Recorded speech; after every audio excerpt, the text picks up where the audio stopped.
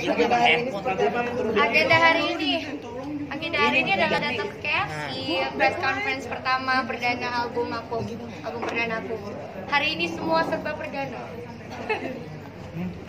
Tapi gimana mungkin untuk uh, single eh album biar sebagai seorang penyanyi? Seperti apa? Ah, kalau dibilang impian semua penyanyi pasti punya impian pengen punya album tapi kalau dibilang sudah pernah dibayangkan jujur nggak pernah aku bayangkan.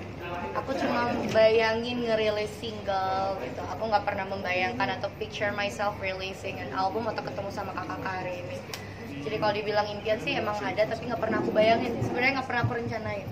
Butuh berapa lama sih mungkin album buat kamu apa sih? Makna album buat kamu? makna album buat aku. Makna album buat aku tadi aku udah bilang kalau dari karir itu sebagai sebuah apa ya pengakuan atau sebuah pencapaian. Oke lihat ke sini. Jadi menurut aku itu adalah eh, pengakuan atau, atau pencapaian. Kalau misalnya pribadi sebenarnya waktu aku untuk lebih mempelajari diriku lebih lagi sebagai seorang penyanyi. Gitu. Prosesnya berapa lama? Seperti apa lah? Konsep yang mana dulu Tengah-tengah aja boleh. Berapa lama? Berapa lama prosesnya? berapa lama Iya. berapa lama mempersiapkannya waktunya kalau di kalau dihitung dari whole song ya sepanjang karir aku karena mulai dari aku memulai dengan jangan dan sampai aku merilis kan lagunya emang satu-satu dibuat tapi kalau dilihat dari proses pengerjaannya yang bisa terlihat lengkap eh, pembuatannya berapa bulan ya Berapa bulan ya sebenarnya aku nggak pernah ngitung sih karena aku enjoy banget sampai lupa hitung Kenapa baru cepet sekarang? lah? Kenapa baru sekarang?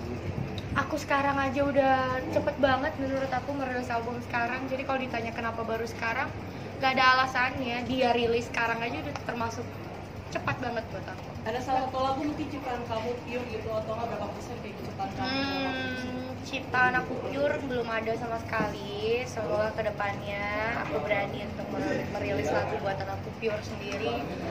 Kalau dilihat berapa persen berapa persen sih? Tadi aku udah jawab sih ya tadi. Pokoknya aku kontribusinya tidak yang luar biasa besar. Dikit-dikit lah cimit-cimit lah. Tiap lagu ada lah dikit-dikit tambahan aku.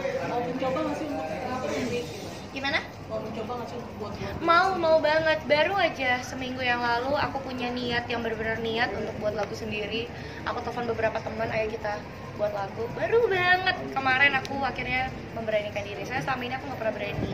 Ngambil dari mana? Pengalaman kah? Atau mungkin pengalaman pahit bagus? wow pengalaman pahit aku belum mulai buat sih. Baru seminggu lalu rencana. Belum terrealisasikan belum dibuat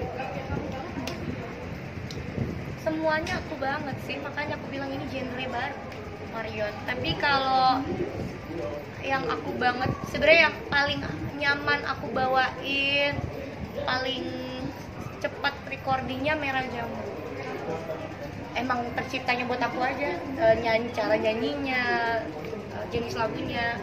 Benar-benar aku banget aku cepat mengerti lagu itu